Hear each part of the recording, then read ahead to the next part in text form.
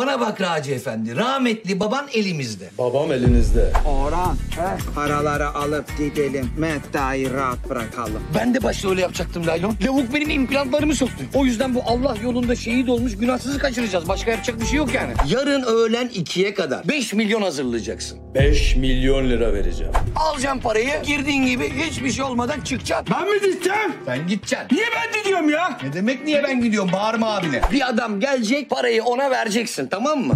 Gel, gel gel. Ne yapıyorsun sen? Üplüyorum. Ne yapacaksın sen o poşeti?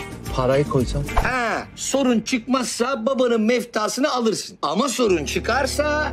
Çıkarsa? Adam düştü! Lan! Lan! Kıymadan kaçıncı kattan attılar Laylon? Çekidem yapacağın için amına tokarım ya. Hayvan gibi tel yapıyorsun ya Orhan.